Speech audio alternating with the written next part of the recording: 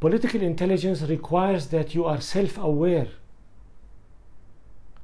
that you know your weaknesses, that you know your vulnerabilities, that you know your strengths. Why? So that you know how to use them.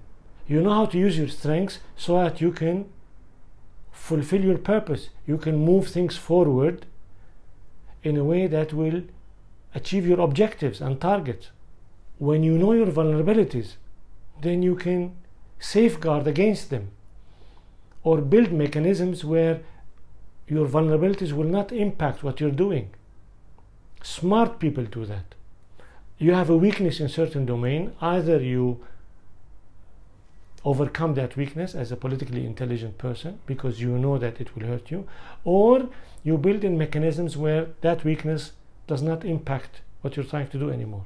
Get somebody to help you in that domain. That requires intelligence.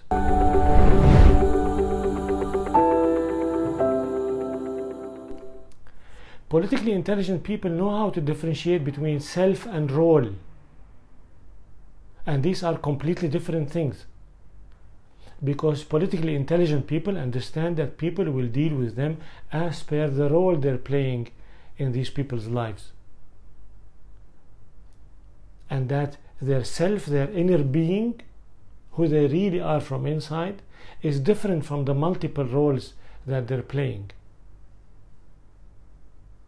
And this is an important survival mechanism because relationships are dynamics and they will go up and down. They will move from being, you know, partners, supporters, and allies to enemies. And the consequences of that. And it might become bitter. So if you don't know how to differentiate between the role that you're playing and your core self from within you, then you become vulnerable